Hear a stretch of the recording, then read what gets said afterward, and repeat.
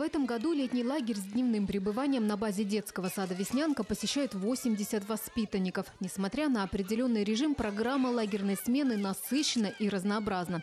Ребят ждут экскурсии, творческие лаборатории, театральные представления. И все же основной акцент сделан на сохранении и укреплении здоровья дошколят. Как отмечают педагоги, учебный год был сложным. В дошкольном учреждении группы не раз закрывались на карантин.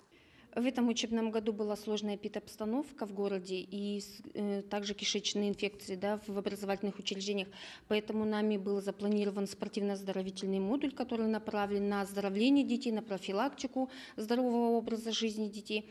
Э, поэтому нами было очень разработано много э, спортивной, спортивной гимнастики, спортивной зарядки, очень много развлечений для детей именно спортивного направления, конкурсов, состязаний между детьми. Сегодня Сегодня летние лагеря открыты на базе семи детских садов. Посещают их воспитанники, подготовительной группы, вчерашние выпускники. Лагеря будут работать только в июне, однако за этот летний месяц в Нягане досугом охватят более 400 детей. В лагере очень много друзей. Мы занимаемся, играем, песни учим, поем, стихи рассказываем. Несмотря на то, что сегодня часть персонала находится в отпуске, разнообразный досуг для воспитанников организован на высшем уровне. Ведь с дошколятами работают целые команды, в состав которых входят воспитатели, физинструкторы, музыкальные руководители и повара, которые на протяжении всей лагерной смены обязательно учитывают интересы каждого ребенка.